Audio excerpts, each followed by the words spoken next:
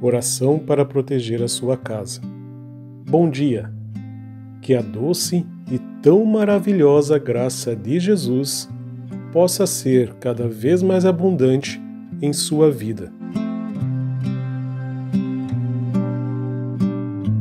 Neste dia que se inicia, eu venho trazer uma oração para abençoar a sua casa.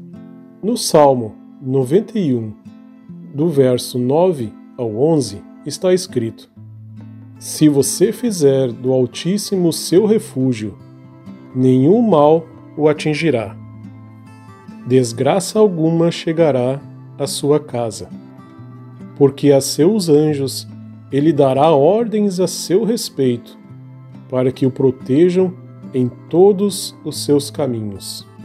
Esta passagem começa com uma condição para que a promessa seja cumprida.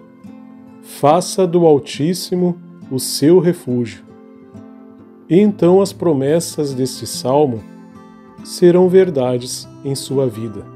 A sua casa tem que ser um lugar onde você encontra paz, segurança, aconchego, conforto e amor. A sua casa tem que estar protegida de todo mal, seja o mal espiritual ou o mal dos homens. A sua casa pode estar contaminada por inveja, mal olhado, maldições ditas por pessoas que querem o seu mal e o da sua família. Isso atrai energias ruins para o seu lar. Mas quando você tem a Deus como seu Senhor e refúgio, Ele o protegerá do mal. Se você fizer de Deus a cobertura de sua casa, o Senhor do seu lar, Deus derramará proteção, livramento e paz sobre sua casa. Hoje, peço que você me acompanhe nessa oração, que farei para que sua casa seja limpa e protegida de todo mal. Peço que você tenha fé, pois no exato momento em que a oração estiver sendo feita, os anjos de Deus estarão agindo para limpar a sua casa e manter ela protegida da inveja, mal olhado, maldições e espíritos malignos. Oremos assim.